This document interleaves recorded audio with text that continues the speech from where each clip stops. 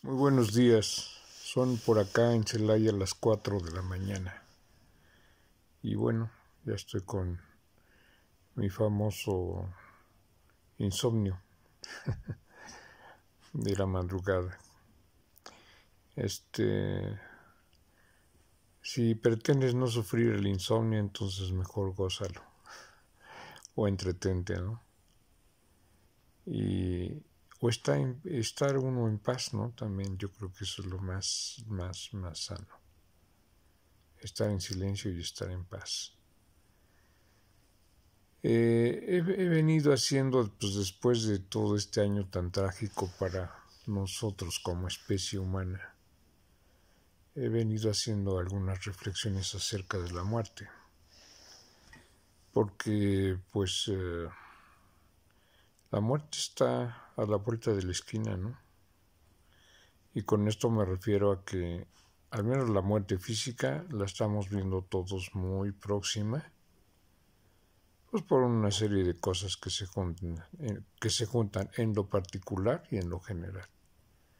En, la, en lo particular por la edad que uno ya tiene, bueno, un servidor tiene 69 años, y este y por todas las cosas que se van juntando de problemas físicos enfermedades naturales como como suele suceder porque ya no tenemos depredadores es decir los seres humanos viven más porque gracias al, al avance de la medicina tienen la oportunidad de vivir más años y, y entonces tienen que cargar con enfermedades crónicas que no ocurrían normalmente porque los, nuestros depredadores nos comían. Y entonces la vida hace miles de años pues este del humano pues no rebasaba ni siquiera los 40 50 años. Entonces de alguna manera estamos viviendo más y eso es una fortuna para que este el, el alma humana pues alcance su evolución necesaria en el espacio y el tiempo o la experiencia humana, el, el, alma viviendo la experiencia humana. Esa es la situación. Eh, sobre este punto que he estado meditándolo, ¿no? Este, nadie escapa al dolor, ¿no? Al dolor de la pérdida.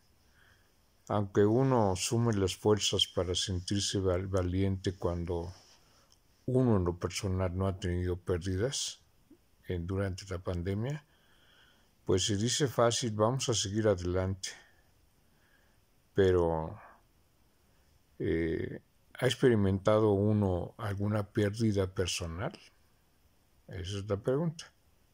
Entonces no es tan sencillo decir, vamos adelante, porque todos vamos a estar sujetos en un momento determinado a pérdidas a pérdidas de nuestros seres queridos. Sobre eso, eso esencialmente, no de las cosas materiales, sino la pérdida eh, de nuestros seres queridos.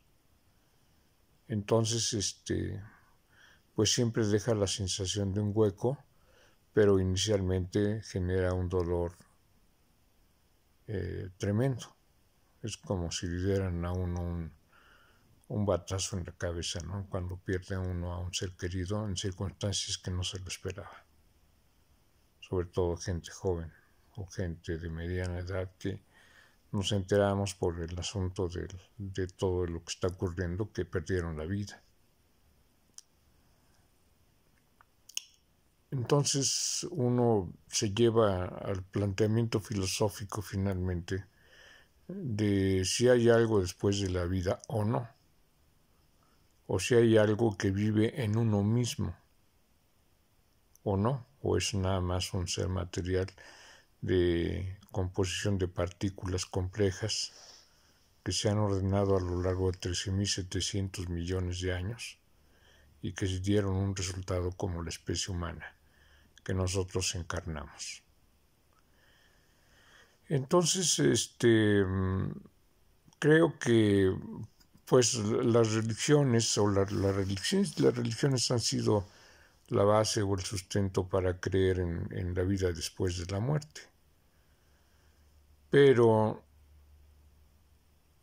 en la visión limitada que tenemos nosotros está basada en el espacio y el tiempo. Y, no concebimos que existan cosas distintas del espacio-tiempo o realidades que se, que se sobrepongan o se interlacen, entrelacen, eh, que, que no alcanzamos a percibir. Y entonces, este, así como ha avanzado la, ciencia en términos cartesianos, eh, también la mecánica cuántica vino a dar una, un, cambio fundamental en la concepción de la realidad. Ya estamos diciendo que la, la ciencia está creando o formando una filosofía distinta acerca de la muerte o acerca, de, la realidad. Cuando hablamos de realidad, cuando hablamos de la verdad, cuando hablamos de esos principios que datan desde la era platónica, pues este entendemos que no andaban tan equivocados esos filósofos como Platón. Eh, a, más de dos mil años de distancia.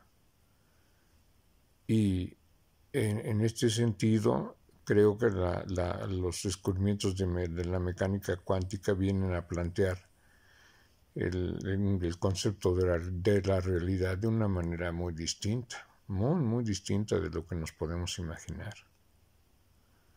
Y, y en lo personal pienso que todo nace a partir del experimento de la doble rendija.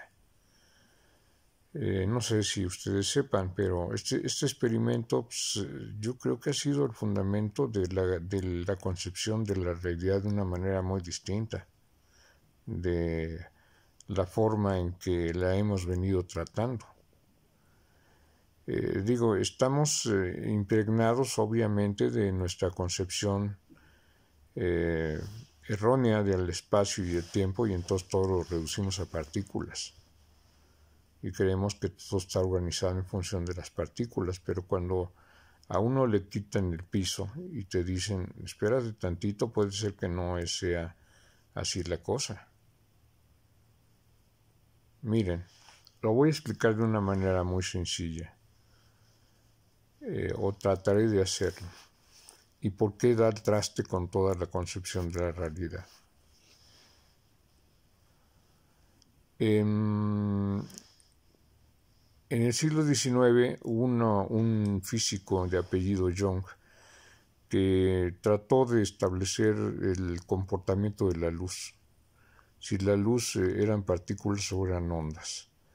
Entonces, en un experimento de una sola rendija, mandó un haz de luz y el haz de luz en, una, en una zona atrás de la rendija había una pantalla con una rendija y la otra era una pantalla de impacto donde impactaba la luz. Entonces se veía una franja nada más, una franja gruesa. Y decía, pues parece que se comporta como onda. Pero el experimento fue muy interesante, pero no pasó de allí.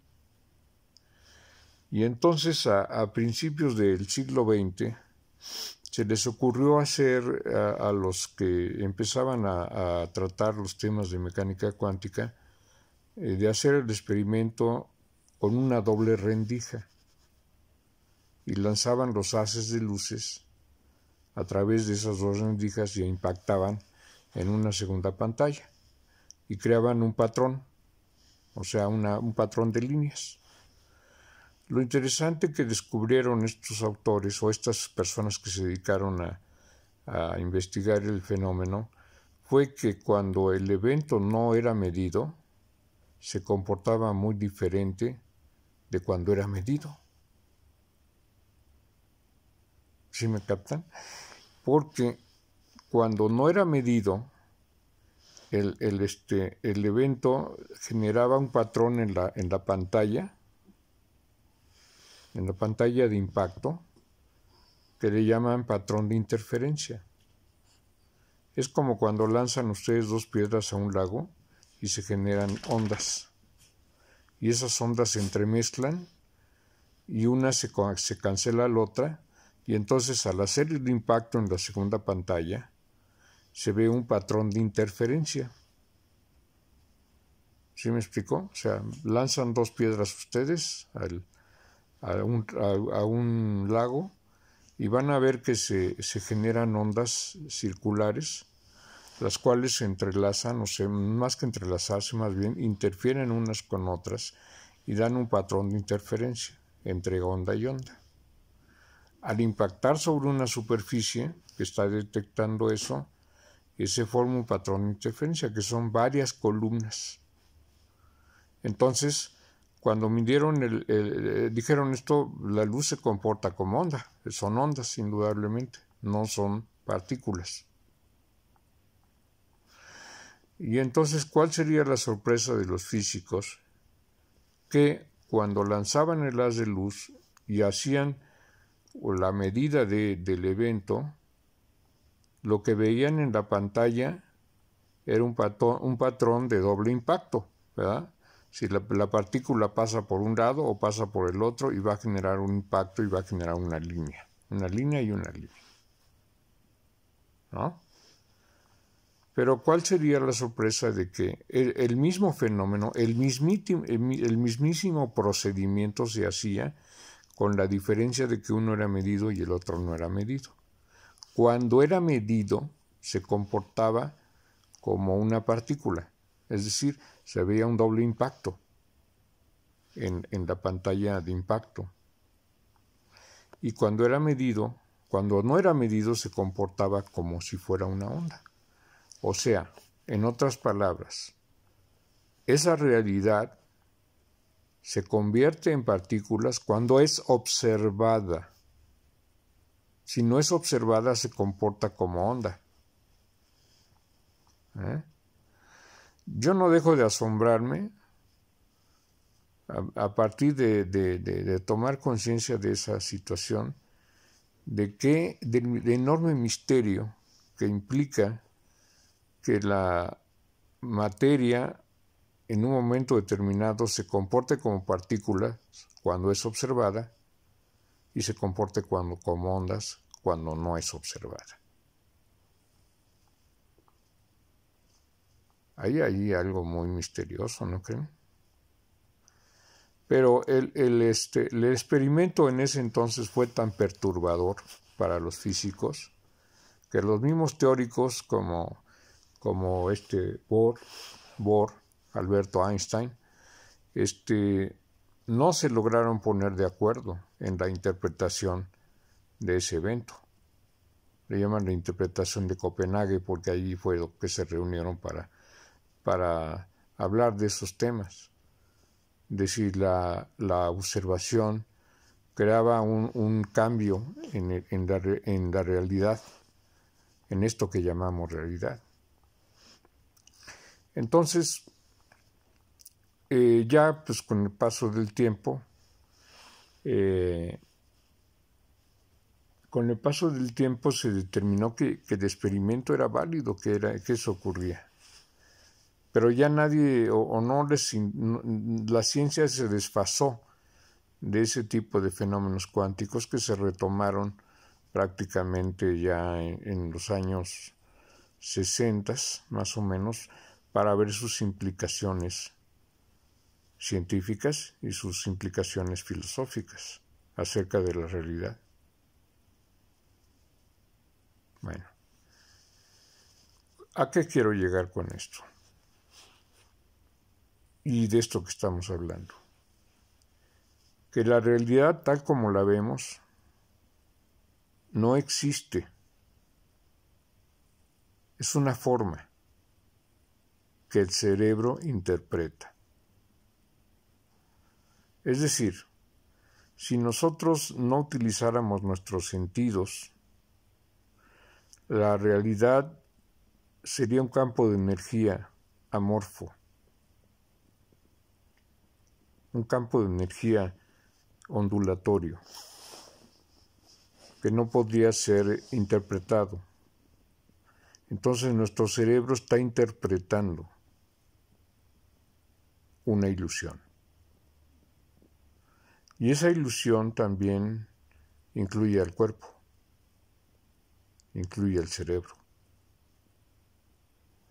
Porque lo interesante de la manera que opera el cerebro, lo voy a decir en términos muy básicos, muy fundamentales, es de que a través de los sentidos, eh, por ejemplo, el sentido de la vista, vemos lo, que vemos eh, son formas, son colores que se integran en patrones y esos patrones nos da ah, la oportunidad de ver las flores, de ver eh, un rostro bello, de ver un evento horrible, etc. Estos eventos son campos de energía ondulatorios. Si cerráramos los ojos, no los veríamos, por supuesto, pero al verlos estamos cambiando toda este, las, los, eh, los patrones ondulatorios de la energía que existe, los estamos convirtiendo en imágenes en nuestro cerebro. Entonces es válido decir que el cerebro crea y conforma la realidad de lo que ve, de lo que escucha, de lo que huele, de lo que siente del gusto y del tacto, porque esa es la forma en que el cerebro se, se, se este, relaciona con la, con la este, realidad. Eso es muy interesante, porque además tiene un retraso. El impulso llega y hay un retraso como de medio segundo. O sea que eh, la conciencia en, este, en esta situación está teniendo un periodo de retraso. Lo que estamos viendo ya pasó, medio segundo antes de que lo percibiéramos. Entonces vean todo este terreno tan interesante y resbaladizo. Y uno se puede hacer la pregunta auténtica de decir, entonces, ¿qué es lo que ve? ¿Sí me explico? Es como si dijéramos, ahí eh, estamos viendo una computadora, estamos trabajando como Windows, están con el patrón del, del sistema operativo de Windows, y uno se hiciera la pregunta de que, ¿dónde está Windows dentro de la computadora? Está en todos lados al mismo tiempo. Pero el sistema eh, este, operativo lo que va a hacer es utilizar todos los recursos de manera ordenada para poder dar una interpretación que pueda este, ocurrir en el cerebro. ¿Sí? Entonces, la parte actual en, el, siglo XXI respecto a, este tema es de que el, cerebro opera con mecanismos muy complejos, por supuesto que lo hace. Eh, yo como neurólogo lo, afirmo, lo sostengo y estoy absolutamente, absolutamente consciente que lo hace, pero nadie puede decir que la conciencia, en última instancia, tenga su origen en el cerebro. Es decir, los eh, actuales eh, neurocientíficos consideran que es un es epifenómeno de la función cerebral. O sea, la conciencia tiene su origen en el cerebro. Pero no se hacen la pregunta, creo yo, y lo digo muy respetuosamente, si la conciencia realmente ocupa el cerebro y está más allá de la realidad que nosotros entendemos. No en balde, científicos de la talla de Roger Penrose, físicos cuánticos y otros han dicho la conciencia no es computable. O sea, no se puede reducir la conciencia a un asunto de computación. Simple y sencillamente no es computable. O sea, esa conciencia que mora en, cada uno de nosotros no es computable, no es objeto de la computación, es imposible. O bueno, no sé si decirlo imposible o no, pero eh, es algo eh, muy misterioso, muy difícil de sostener. No quiero negar todos los procesos que ocurren en el cerebro, por supuesto, para que la persona esté despierta, para que tenga una capacidad cognitiva determinada, pero en su conjunto puede estar actuando como un, receptor de la conciencia. Es un poco parecido a, un ejemplo que pongo que tiene que ver con el principio de no localidad y que en un momento dado eh, es eh, misterioso, ¿no? Y, la alusión que hago, la, comparación es muy sencilla, muy, muy sencilla. Por ejemplo, y aquí podríamos hablar también de lo que significa en la realidad el campo de energía ondulatorio que ocurre en todos lados al mismo tiempo y la forma en que opera un teléfono celular. Si yo marchara con este teléfono que tengo en la mano al siglo XV, con alguno de ustedes y nos pusiéramos a hablar por teléfono a unos eh, varios metros de distancia, digamos, este, o más bien a unos kilómetros de distancia, eh, si estuviera con el Papa, seguramente me mandarían a la hoguera al oír que el teléfono celular suena y puedo yo hablar con el teléfono celular. Alguno de estos religiosos podría decir de manera inteligencia, eh, de manera inteligente en ese, en ese momento, o de manera misteriosa decir, allí adentro de la cajita esa hay un, hay un ser humano, un espíritu, o el diablo mismo y está hablando este a través de eso. Está allí el espíritu hablando. y decir, no, pues es inteligente, ¿no? O está, está metido en una, en una cosa este, de brujería y entonces, ¿sabes qué? Pues vas a la hoguera, mano, porque esto es, esto es diabólico, ¿no? Ese sería el razonamiento, un tipo de razonamiento cartesiano, que se encarga de estar midiendo cosas. Pero, cuando surge la pregunta, ¿cómo es que ocurre eso, no? A ver, usamos el teléfono celular de una manera continua y no nos preguntamos cómo funciona. Y la gente dice, no, es que la onda sale del teléfono y va directamente a, a donde está tu teléfono. Ah, sí, bueno, ok. Entonces, este, ¿qué pasa si estoy en otro lado o si clonan mi teléfono? Están cinco personas escuchando la conversación al mismo tiempo que yo hablo o que yo recibo la voz de alguien. Al mismo tiempo ocurre. Bueno, ese sería el mismo efecto de lo que es el experimento de la doble rendija. ¿Qué quiere decir? Que hay un campo ondulatorio de energía donde la onda que yo recibo de ustedes está en todos lados. Eso es interesantísimo. Si está en todos lados al mismo tiempo, me basta tener un receptor adecuado para que decodifique la señal. Eso en mecánica cuántica se llama el colapso de la función de onda.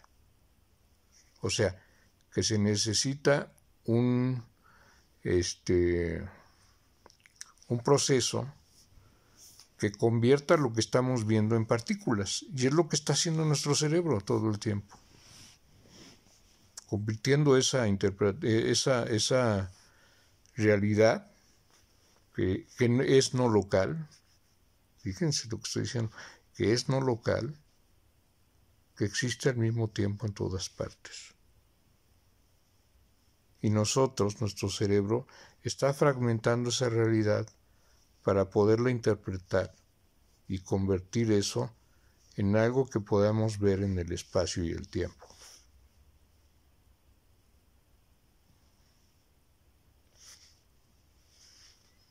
En otras palabras, estoy diciendo que el intérprete, que es uno, está situado o arraigado en el cerebro y es el intérprete de la realidad.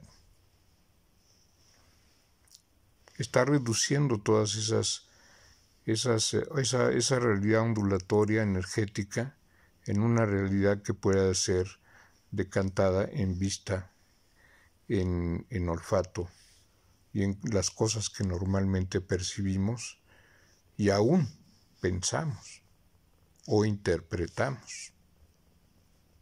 En la medida que la, la, función cerebral se va haciendo más compleja, el nivel de interpretación de la realidad se va haciendo más sutil, se va haciendo más fino. Y el cerebro se empieza a utilizar de una manera más acertada, a través del observador, que es uno mismo. Pero no, uno no puede decir el observador está aquí o está allá.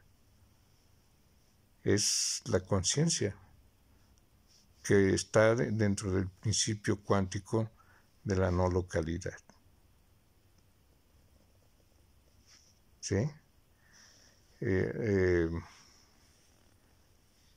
opera en el espacio-tiempo, claro, pero no tiene su origen en el espacio-tiempo. De la misma manera que podríamos hacer el aspecto analógico de un teléfono celular. Opera en el espacio-tiempo, ahí está la cajita, con la cámara y todo. Pero no podríamos decir que, este, que esa conciencia que está usando el teléfono es el teléfono, la utiliza nada más y utiliza el principio de no localidad. Entonces, eh, ¿a qué viene todo esto? A ciertas reflexiones que tengo sobre la muerte. Y esas reflexiones, este, yo creo que de alguna manera nos, este, lo hacen a uno pensar sobre cuando un, un, un este, ser querido fallece, porque es lo más cercano a uno, eh, si se ha muerto por completo, si el hecho de que eh, muera el cuerpo o esa estructura que ocupamos en el cuerpo, al morirse, se desarticula toda y desaparece. Eh, yo tal como estoy viendo las cosas y por una serie de, fenómenos que no viene a comentar. En este momento, tal vez lo haga después, este, estoy convencido que, que existe una serie de realidades entremezcladas y nosotros solamente vemos una parte pequeña de esa realidad a través de nuestros sentidos pero la, verdad es que el campo de, energía universal es infinito. Y eh, eh, es infinito y no obedece a, la, a las... Bueno, sí, se manifiesta en el espacio-tiempo, pero... Eh, pero el, campo, el campo del infinito está en todo punto del universo al mismo tiempo igual que un teléfono celular, para, para ser más, más este, sintético en esto. En cada punto de esa parte está la voz de uno o está la voz de todo mundo y lo único que se necesita es el decodificador para ver lo que hay ahí. Entonces, en ese sentido, eh, ya vienen otra serie de teorías cuánticas que no, me pienso meter ahorita en eso, pero quiero dejarles la reflexión de lo que acabo de decir. Y lo que estamos viendo es un, un campo de energía infinito, un potencial infinito que atraviesa nuestros sentidos y nuestros sentidos se encargan de fragmentarlo para que podamos utilizarlo en la experiencia humana vivida en el espacio-tiempo. Pero no es toda la realidad cuando el cuerpo desaparece. El cuerpo es una forma, una forma que existe en el espacio-tiempo para manifestar un ángulo del ser, nada más. Pero de que se, cuando el cuerpo termina o, fallece, creo que no termina todo. Lo sensato es pensar que no termina todo, sino que entramos en otra serie de realidades que, que rebasan o trascienden el tiempo y el espacio y que probablemente tienen contacto continuo con nosotros sin saberlo. Entonces he escrito hoy un poema que se llama La ilusión de la muerte y es eh, nuestro dolor que experimentamos cuando un ser querido fallece, pero que tenemos la sensación de que no ha terminado que sigue con nosotros. Y sobre esto después les voy a platicar experiencias personales. Este, y aquí les leo este, este poema, se dice La ilusión de la muerte.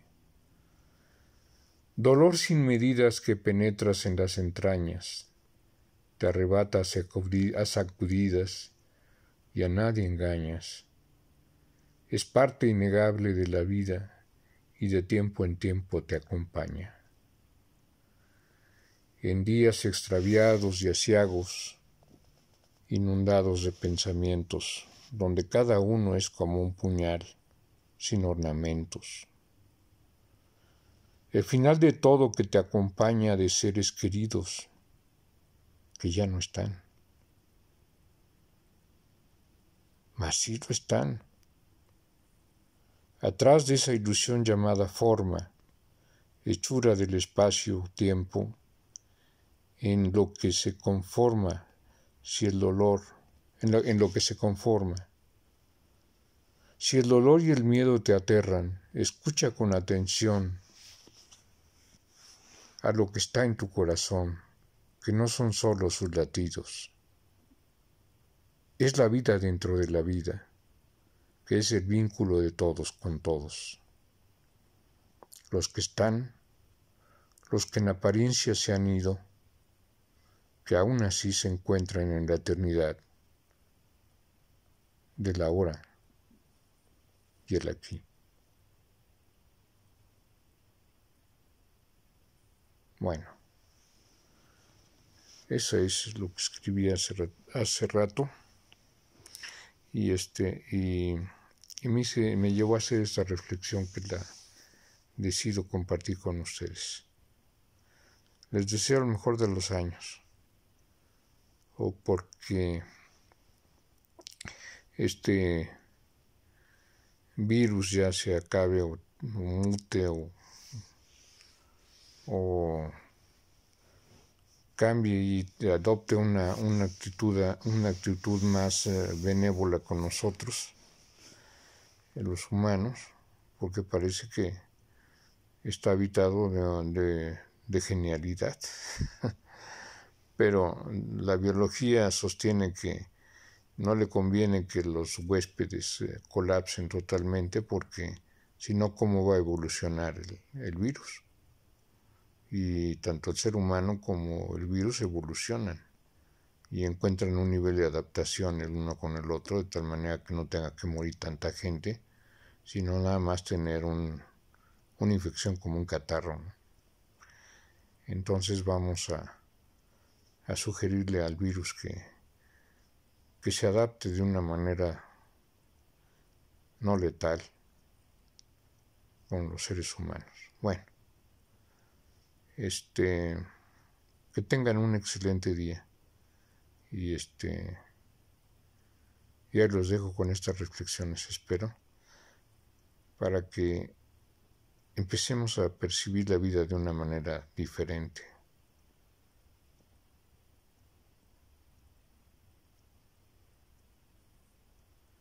El aquí y el ahora es la eternidad. el recuerdo no tiene futuro. Y el futuro es la incertidumbre. Entonces, si uno está habita cómodamente en el espacio y el tiempo, la incertidumbre no le va a crear problema.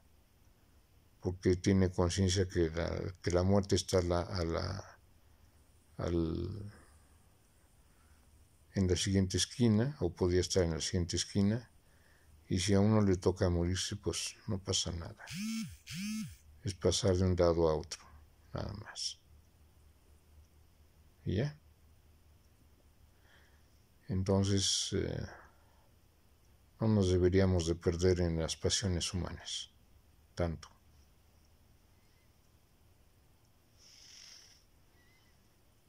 Perdemos el tiempo si no estamos felices y contentos. Y si no asumimos las pérdidas que tenemos con entereza, con calma, con tranquilidad. Suena fácil decirlo, pero no es así, obviamente.